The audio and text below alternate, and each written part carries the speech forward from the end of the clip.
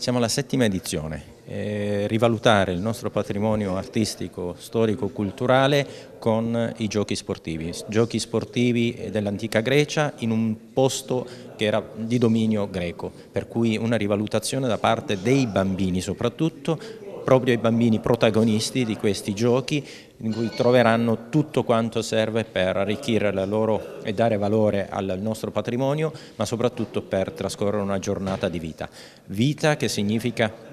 anche voglia di valori, regole che permettono di rispettare non solo il parco ma tramite lo sport anche stile di vita e vita sana e vita eh, importante per una crescita eh, sociale e civile.